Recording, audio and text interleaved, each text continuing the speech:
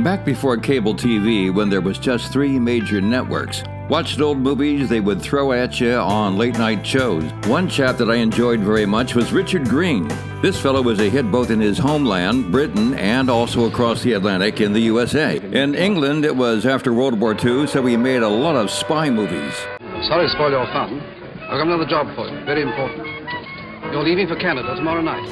You know, if Bond films were made back in the 30s, he'd be the perfect 007. She dead? Of course, I made no mistake about that. Cut! Get up and get over there. Put your hands up. You too. Put them up. Hello! Hello. Monitor. Monitor, flash this line. Right. Urgent. This is Lieutenant Commander Garrick. Naval Intelligence. Verify headquarters. Message. Call RCMP. Not you, Mama. Sit down. Tell RCMP, full steam ahead, Chateau Brochet. Brochet. Boucher. Yeah, I got it. You're holding Madame Orlock and the phony captain. Yes, yes, I got it. Send doctor, ambulance. If this message is understood, flash again. Right. Now, you sons of Fritzes. In America, he was cast in several period dramas. I've done everything I could to fight the Dunes, Your Majesty. They killed my father. They've bled us with taxes and terrorized our people.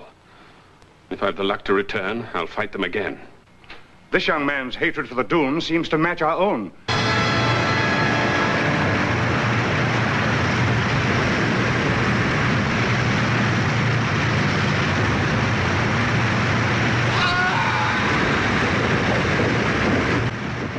Very successful, he worked with everybody from Basil Rathbone in the first Sherlock Holmes series to Shirley Temple How dare you risk the reputation of my school in this manner? Nothing's happened that damages your precious school's reputation.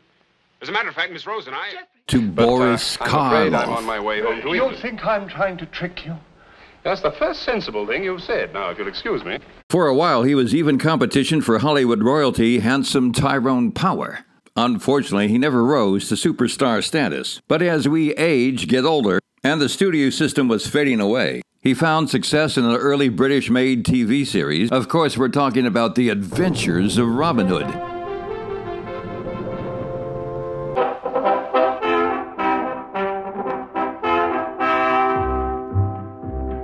Robin Hood, Robin Hood, riding through the glen. Robin Hood, Robin Hood, with his band of men. Because it's British made, it has good actors and above production value. So it's true what they say about you that you have the heart of a dove, the spirit of an eagle, and the face of a barn owl. But we know age is our enemy, therefore, as he got older as an actor, he was forced into taking films of lesser value. Such is the case with the Christopher Lee series of Fu Manchu, strictly potboiler stuff. Nayland Smith, you will destroy him with a kiss of death. You understand. Fu Manchu is getting close to us. I must see Nayland Smith. Good evening, madam. I'm Nayland Smith.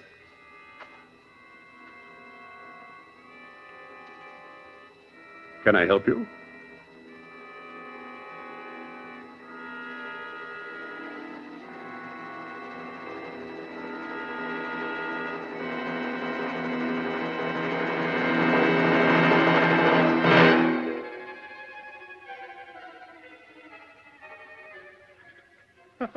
There's an old Inca legend that some priestesses were immunized to the poison of the black cobra. They let themselves be bitten by the snakes and then were sent out to kiss certain chosen victims. Somehow, the poison was transmitted, and after a few days, the victim died. So, when you're perusing your film library on television, cable, whatever, if you should come across the old Robin Hood series, it might be worth a look. You show a certain amount of promise, Giles Black. But you take too long of your aim. Now, if that target down there were a deer, and I spent 20 seconds aiming the way you do, my quarry might move to cover and I'd lose the shot. He's afraid to lose his shaft. He knows he's beaten. You have to learn to launch your arrows swiftly, all in one motion, like this.